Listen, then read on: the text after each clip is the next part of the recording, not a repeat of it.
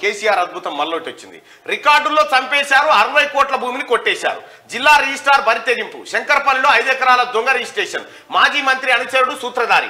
చక్రం తిప్పిన హైదరాబాద్ జిల్లా రిజిస్ట్రార్. ఆయన భార్య పేరిట కొంత రిజిస్ట్రేషన్. యజమాని మరణించినట్టు దొంగ పత్రాలు. తెరపైకి నకిలీ వారసుని తెచ్చి రిజిస్ట్రేషన్. ఈ కేవైసీలో పేరు తేడా ఉన్నా పట్టించుకోలేదు. అడుగడుగున నిబంధనల ఉల్లంఘన జిల్లా రిజిస్ట్రార్ కోసం సబ్ రిజిస్ట్రార్ అడ్డగోలు. ఒకవైపు రెండు వేల పద్నాలుగులో మరణించాడని సర్టిఫికేటు మరోవైపు తన పేరిటే రెండు వేల ఇరవై మూడులో నాలా ఎలా? భూ యజమాని పైనే నకిలీ నకిలీ అంటూ ఫిర్యాదు. పేర్లో తేడాలన్నింటికీ సెల్ఫ్ డిక్లరేషన్తో సరి. భూ యజమాని నిలదీశాక తప్పని ఒప్పుకోలు నిజ నిజాలు తేల్చాలని పోలీసులకు ఫిర్యాదు అట. ఇగో మాజీ మంత్రి అనుచరుడు. ఎవ్వడు రామన్ అనుచరులే అయి ఉంటారు వీళ్ళంతా. రికార్డులో చచ్చిపోయిందని చెప్పి కొత్త వారసుని పుట్టించి అరవై కోట్ల విలువైన భూమి కొట్టేసిరట. అరవై కోట్ల విలువైన భూమి.